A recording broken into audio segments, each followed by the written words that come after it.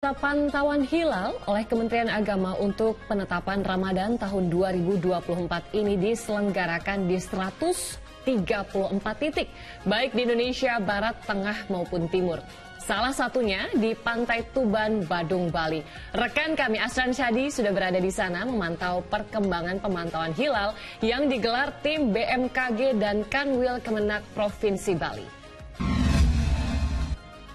Asran, bagaimana hasil pemantauan di sana?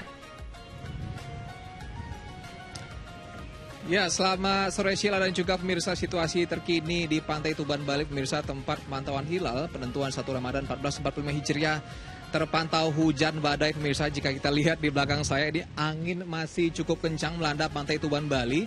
Jadi tadi saya sudah berada di sini pukul 3 waktu Indonesia Tengah pemirsa.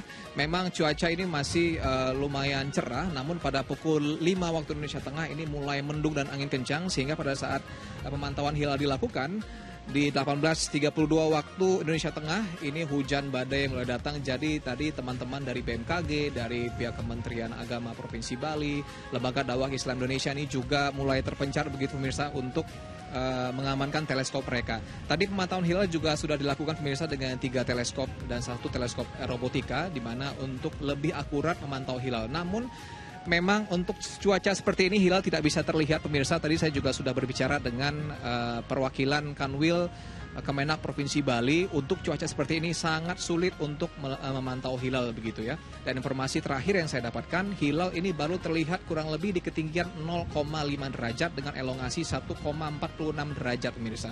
Belum masuk kriteria untuk uh, menentukan satu Ramadan 1445 Hijrah yang membutuhkan 3 derajat ketinggian hilal. Nah, kalau kita lihat pemirsa ini kami masih terus menunggu apakah pemantauan hilal akan terus dilakukan atau memang sudah dihentikan. Namun di sisi lain pemirsa, ini uh, Ketua MUI Provinsi Bali juga mengimbau uh, umat muslim untuk saling toleransi antar umat beragama karena ini bertepatan dengan hari raya Nyepi. Nah, jika uh, satu Ramadan ini akan jatuh pada malam ini pemirsa, uh, ini diimbau untuk masyarakat uh, muslim yang ada di Bali untuk sholat tarawih di rumah dan pun jika ke masjid ini tidak menggunakan lampu atau hanya lilin saja karena untuk uh, tidak mengganggu kehusukan uh, umat Hindu dalam hari Nyepi. Berikut uh, pernyataan dari Mahrusun Hadiono sebagai Ketua MUI Provinsi Bali. Uh, himbuannya kepada seluruh umat Islam khususnya di Bali agar tetap menjaga kerukunan umat beragama, menjaga keamanan, ketentraman, dan juga kedamaian. Ya baik, sekian informasi dapat saya sampaikan pemirsa kami akan update terus pemantauan hilal di Pantai Tuban Bali untuk sementara kembali ke Sheila di studio. Asran Syadi melaporkan langsung dari Pantai Tuban Badung Bali.